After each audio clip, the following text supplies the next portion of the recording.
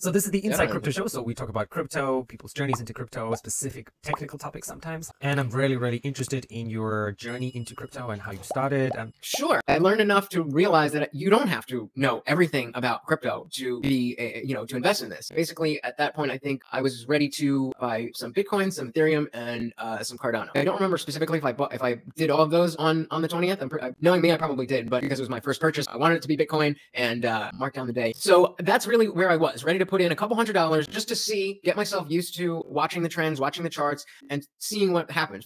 Just see what the experience is of being in the market. Was uh, Anthony Pop saying, "How much do you trust it?" or, or something along those lines. One percent, ten percent, hundred percent, whatever percent you trust it, put that much of your uh, worth into it. And so I was like, all right, I guess you know I could put in five percent of what I'm worth, which wasn't very much anyway. So I did that, and I was, you know, I was happy. Everything was mooning, and um, then the crash happened. When, that happened, I continued learning and gathering information, and I realized that it was a very critical decision point for me. We likely were never going to see these prices again. So I was like, as a beginner.